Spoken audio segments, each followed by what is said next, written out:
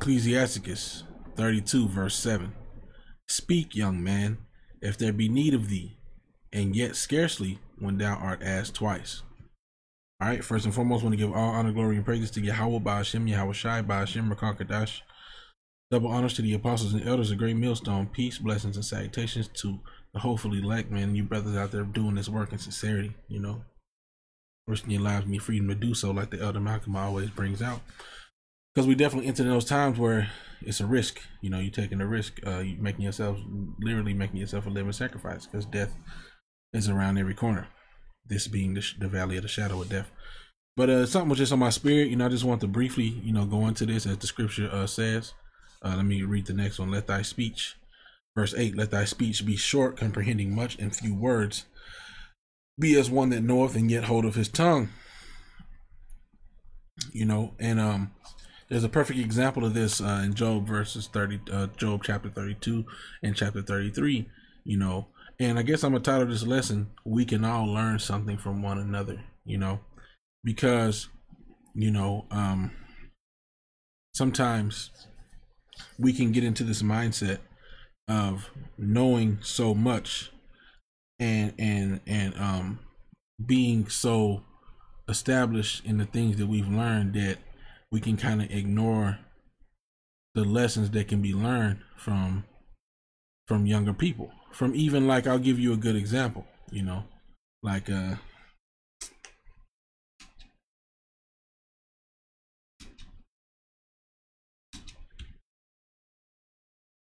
you know, like this video here. Got the serious look just like y'all got. That serious, intense look. Because they trying to. You see this Gadite right here, right?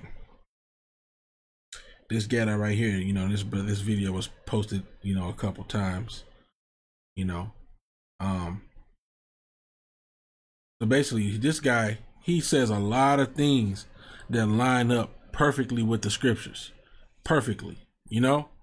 And um but he, you know, he doesn't appear to be, you know, he, he's not on the highways and byways. Why trying to figure like he's not on the highways and byways. But as you can, but as you, if you watch this video, just type in Gadite speaks out on GMS vent, you know, and I'm gonna get to the point. If you watch this video, he's not, he's not in the, you know, in the truth. You know, he's not out there praising Yahweh Hashem Yahweh Shai, things of that nature. But nevertheless, he's speaking scripturally and, and it, enough for this brother to repost it on his channel. And numerous brothers have reposted this. This is a man of a low estate but but listening to his his, his speech uh, that's in the scriptures, you can learn something from it. You know, you can learn humility and certain things from this this man speaking. And so we have to remember that you know there are things that we can learn in everyday life even from those people who are not in the truth. Now, take that with a grain of salt everything needs to be filtered through the scriptures. You don't just start learning something from somebody and get bugged out and start taking what they're what they're saying and oh yeah, you know, and you know all these weird ass doctrines is out here. But if the things that they are saying can be filtered scripturally, there's a lesson that can be learned from it. You know, like I'll give you an example. I ran into this dude when I was doing deliveries.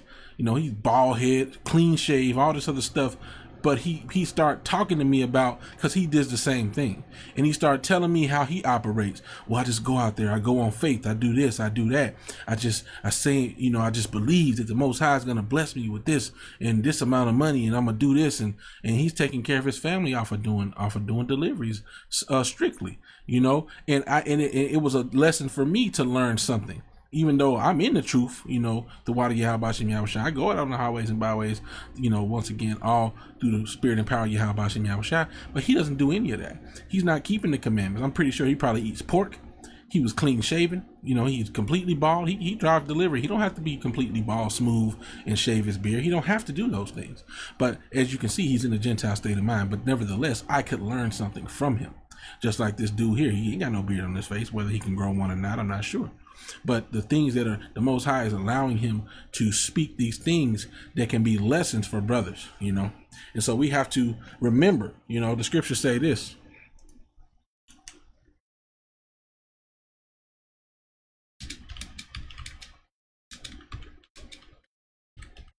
Know, uh, Romans 12 and 16.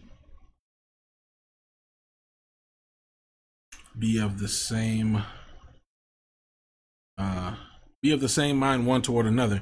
Mind not high things, but condescend to men of low estate. Be not wise in your own conceits. So sometimes we have to humble ourselves. We can't get to that moment where we feel like we too big to speak to a younger brother or, or, or to hear something that a younger brother may have to say because the most high uh, may be hopping on that younger brother and saying something that we need to listen to you know that is definitely a possibility of things happening and i'm going to show that here in the scriptures through the uh, lord willing you know? So let's just close some of this stuff here to the right you know? Um let's see. Yeah i'll start at job 32 job 32 and 1 so these three men ceased to answer job because he was righteous in his own eyes. Then was kindled the wrath of elihu the son of barachel the, the buzite of the kindred of Ram against Job, his wrath was was his wrath kindled because he justified himself rather than the Most High. So yeah, Job was going through a lot of stuff, but in this particular uh, uh, uh, in this particular situation, Job was justifying himself like as if he was without sin completely, as if he was you know, you know, as if he was just uh, just completely you know justified and in, in, in just basically saying yeah, let's just read it, man. Also against his three friends was his wrath kindled, because they had found no answer and yet had condemned Job. Now Elihu had waited till Job had spoken. See, he took his time. He didn't make himself equal to him to them, like it says in Ecclesiasticus. You know, when thou be among great men, make not thyself equal. Let's, let's you know, get that open again. Got the serious look just like y'all got. That serious, intense look. Because you know, let thy speech be short, comprehending much in few words, be as one in north, and yet hold his tongue. He was holding his tongue. Because he knew he knew he knew that it wasn't right, but he was waiting on them like uh, surely these men, these other great men next to him gonna rebuke Job and tell him what he needed to hear. And he waited and it never happened. And so he had to speak because there was need of him. He was a young man, but he had to step up and say, Look, man, you know, hey, so respectfully, hey, look, you know, respectfully, utmost respect but this is what needs to be said, you know. Let thy speech be short, comprehending much in few words. Okay, verse 9 If thou be among great men, make not thyself equal with them. So he wasn't in the midst of their talk, you know, you know, he had respect. He wasn't like in the midst of their conversation. And when ancient men are in place, use not many words. He was like, let me know, hey, look, man, I'm chilling. I'm chilling, bro. I'm not talking right now. Before thunder go off lightning, and before a shamefaced man shall go favor. You know. So so let's let's continue. Now Elihu had waited till Job had spoken because they were elder than he. He was like, look, these are older men, they greater, and I'm a chill, man. When Elihu saw that there was no answer in the mouth of these three men, then his wrath was kindled. He was like, I can't believe these dudes ain't ain't got the words to speak to him right now, to to rebuke him, man.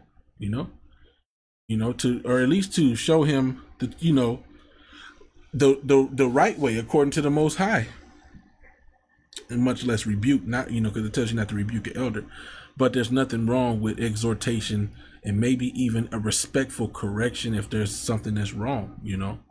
This there's nothing wrong with that and we have to be able to you know i'm not i'm a, I'm a babe but i'm you know if somebody even younger than me came in the truth and they corrected me and it was scriptural and, and according to the truth then i have to humble myself enough to accept that and the same goes for the men above me you know we have to this thing is about humility and if and if we're being corrected according to the truth we have to be able to accept that you know? You know respectfully i say this you know i'm not this is no this is nothing puff up because knowledge puffeth up you know? This is not a puffed up stance this is truth you know let's continue. You know salaki i, I don't want to say too much you know? Then Elihu the son of Barachel the Buzite answered and said, I am young, and ye are very old. Wherefore I was afraid. He had respect and durst not show you my opinion. I didn't want to step up and say nothing because y'all older than me. I didn't want to kindle y'all wrath. I didn't want to, you know, be disrespectful. So I didn't say nothing. You know, he didn't show his opinion.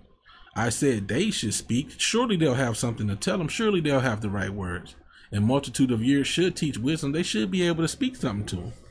Verse 8, but there is a spirit in man, and the inspiration of the Almighty giveth them understanding. So the Most High put put the spirit, and He can put the spirit on, on a young man to speak words of wisdom as well, you know? Let's continue. Therefore I said, hearken, uh, great men are not always wise, neither do the aged understand judgment. Because so we all make mistakes. Sometimes, you know, it says we're not always wise. You know, even and that goes for all of us. We all make mistakes.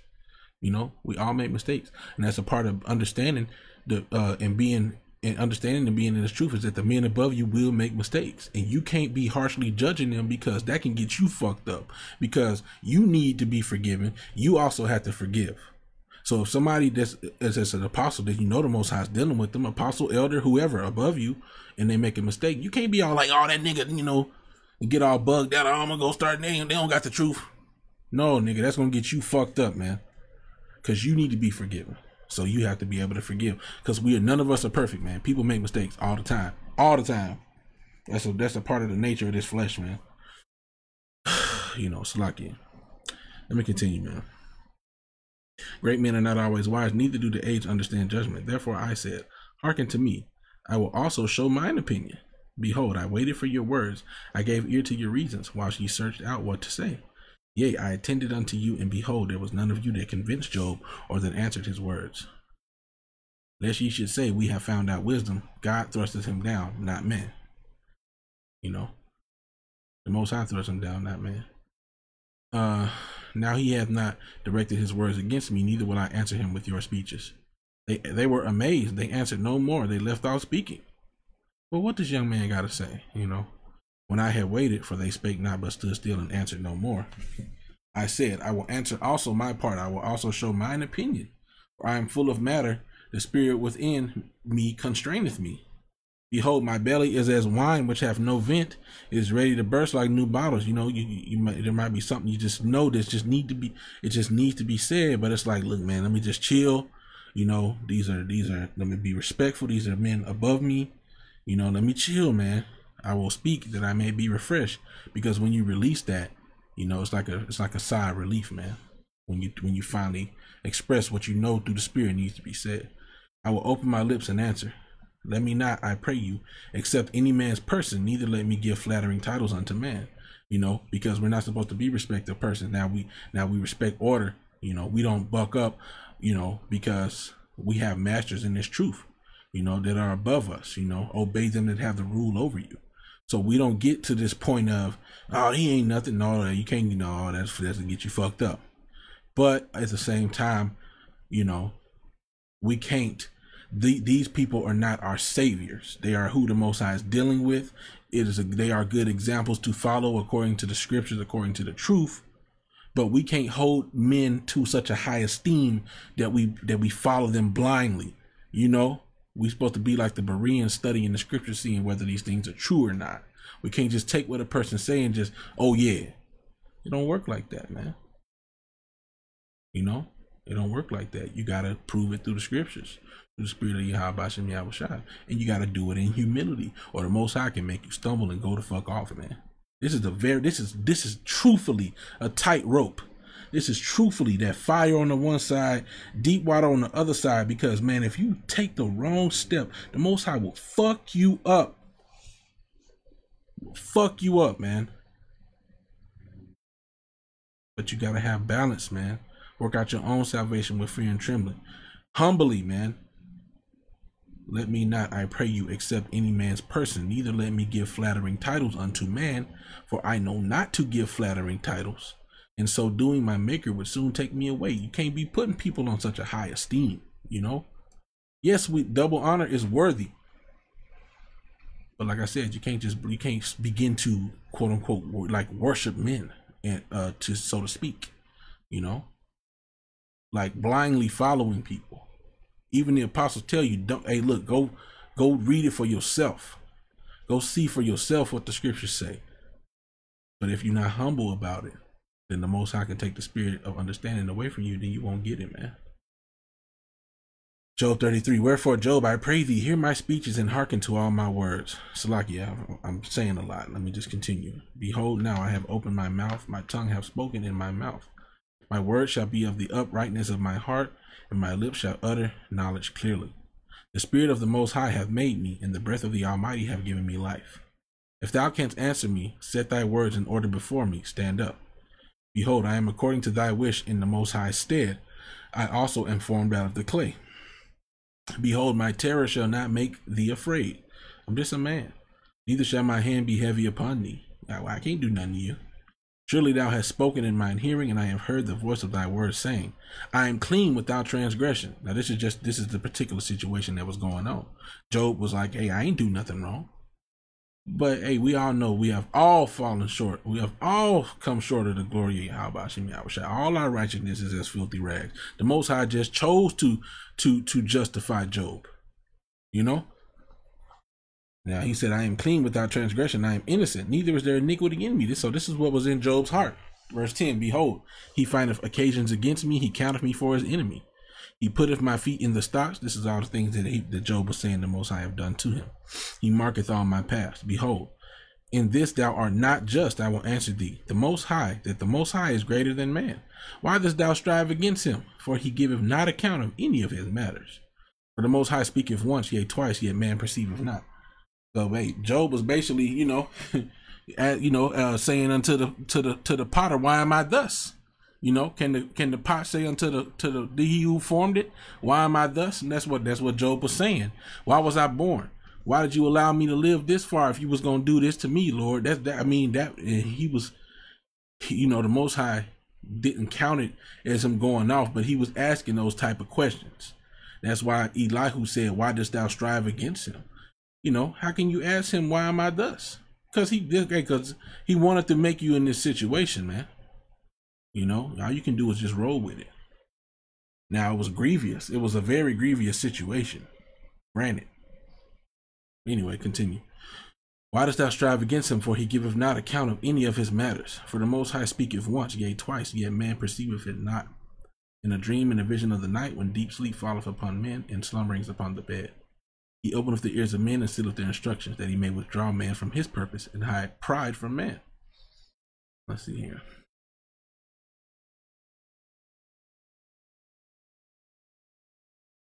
Uh, let me go to verse 23. If there, so this is uh, Job 33 and 23. If there be a messenger with him, an interpreter, one among a thousand, to show unto man his uprightness, then he is gracious unto him and saith, Deliver him from going down to the pit. I have found a ransom. His flesh shall be fresher than a child's. He shall return the days of the youth. Basically, if the Most High have chosen you, it's because He have.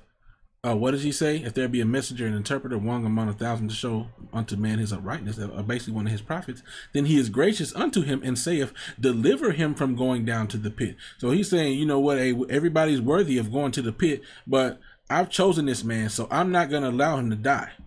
I'm going to forgive him of his sins. I have found a ransom.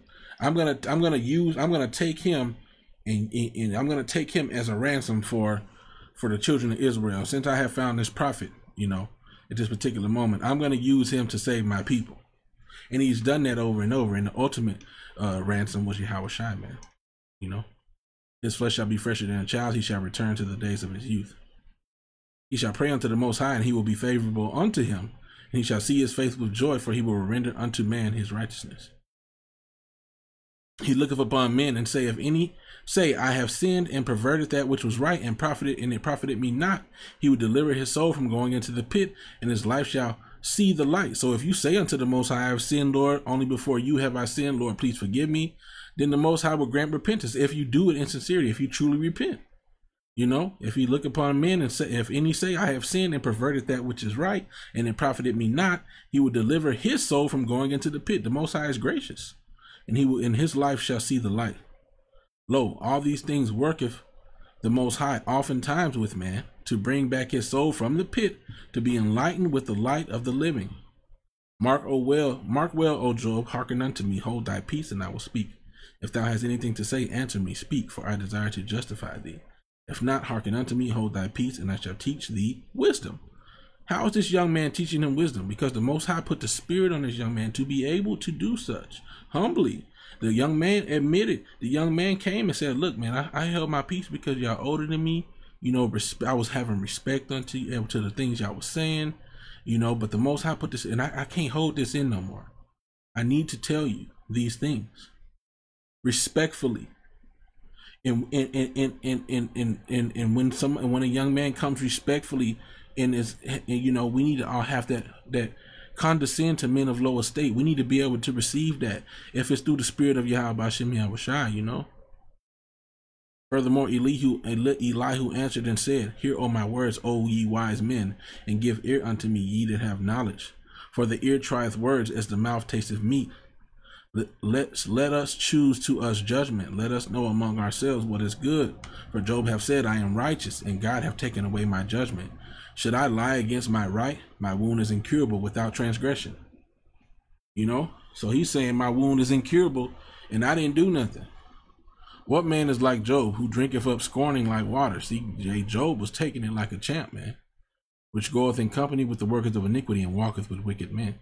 For he saith, It profiteth a man nothing that he should delight himself with the Most High. All right. Therefore, hearken unto me, ye men of understanding. Be it far from the Most High that he should do wickedness, and from and far from the Almighty that he should commit iniquity. You know, I just put that far from in there because that's what he's saying. That's why that semicolon is right there. You know, be it far from the God that he should do wickedness, and from the Almighty that he should commit iniquity. So he's he's saying it's both of these things are far from the Most High.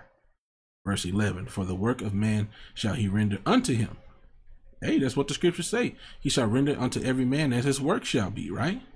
And and and cause every man to find according to his ways.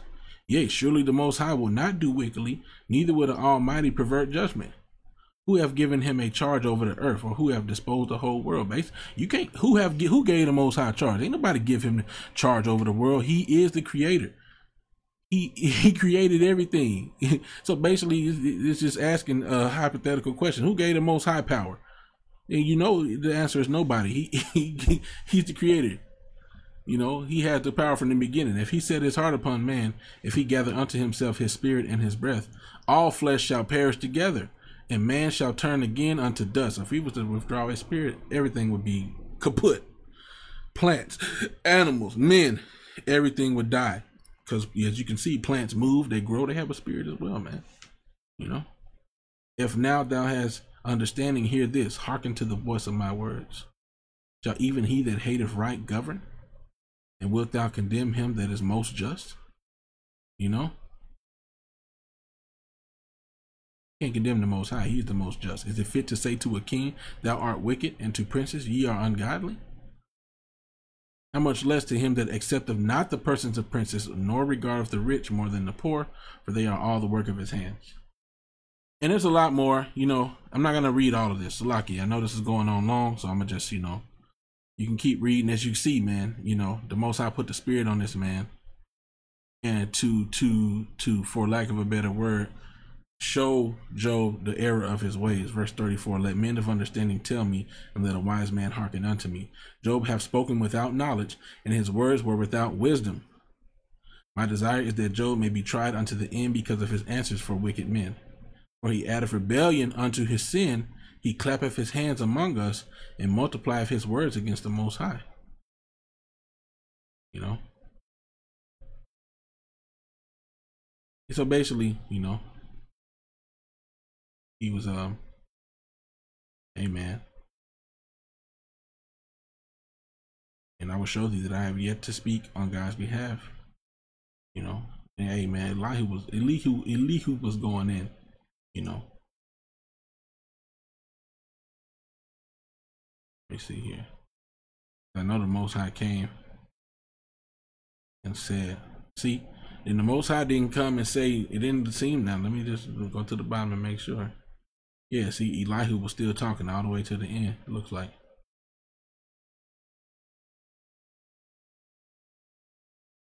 You know? And then then the Most High came, and then then Yahweh answered Job out of the whirlwind and said, Who is this that darkeneth counsel by words without knowledge? Gird up now thy loins like a man, for I will demand of thee, and answer thou me. So then the Most High came and got on Job. He wasn't coming and getting on Elihu. He was coming and getting on Job. You know, keep reading. And you'll see that. You know? He was asking them all these questions like, man, who who are you to come, you know, to say these different things, man? You speaking without knowledge, Job. Were you around when I did all these things? Moreover, the Lord answered Job and said, Shall he that contendeth with the Almighty instruct him? He that reproveth God, let him answer. Then Job finally spoke. So, you know, it was perceived that the Most High that Job was was was uh, reproving him. That Job was reproving the Most High. Dang, Lord, you should have just let me die, Lord. You know, but the Most High still didn't count that as sin towards Job. He forgave him for those words, and he and he restored him. But the point of the story is, you know, let's just read the scripture, man. And, you know, I'm gonna let that be the end of it. First Corinthians 12. You know, because you can't discount the the smallest members, man. You can't discount the lowest members as if they have no worth. You know, sometimes a younger brother can come with truth according to the scriptures that can that can teach older brothers something as well. You know, now it's all about humility, but humility has to go across the board for the older brother to be to accept when the truth is coming out according to the scriptures and for the younger brother to know his place and his time when to be able to say these different things. All right? First corinthians 12 and 12 for as the body is one and have many members and all the members of that one body being many are one body so also is hamashiach. For by one Spirit are we all baptized into one body, whether we be Jews or Gentiles, Gentiles meaning Israelite foreigners, Israelites who were in a Gentile state of mind and converted back to their true nationality and their true heritage. Whether we be bond or free and have uh, been made all and have been all made to drink into one spirit. We all have the spirit of the Most High. Now we don't want to be like those niggas Dathan, Abiram, and Corey who came up and rose up against Moses. Are we not all holy? You take too much to yourself. Nah, fuck that, man. The Most High set up who you want to set up, and it's all for a reason, man. The Most High set up uh uh Yahweh Shai with many stumbling blocks to trip people up, and the Most High set up his men with many stumbling blocks to trip people up, man. There's there's there's there's imperfections by design for you to for you to despise people and look upon those imperfections to say these niggas ain't the men of the Lord, and that's when the Most High put that reprobate spirit on your ass, nigga. And all have been made to drink into one spirit. So yes, we all have the spirit of the Most High. And sometimes the Most High can hop on the younger brother and have him speak wisdom, as as we saw uh, with Elihu, whatever, however you pronounce his name. 14. The body is not one member, but many. If the foot shall say, Because I am not the hand, I am not the body, is it therefore not of the body? So don't discredit yourself, you know. And let's just get that scripture here.